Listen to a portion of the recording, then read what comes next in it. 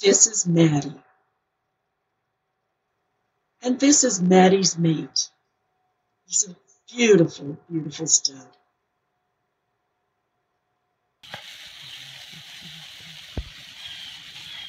Do that over.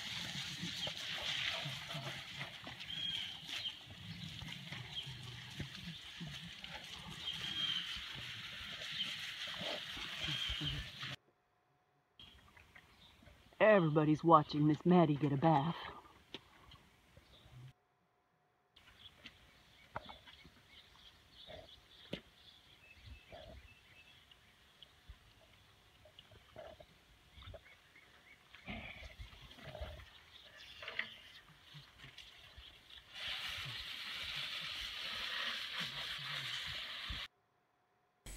Finally, at the vet, Dr. Heltzma begins the check.